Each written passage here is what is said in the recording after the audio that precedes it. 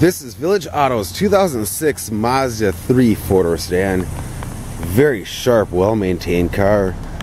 This one has a rear defrost, alloy wheels, great gas mileage.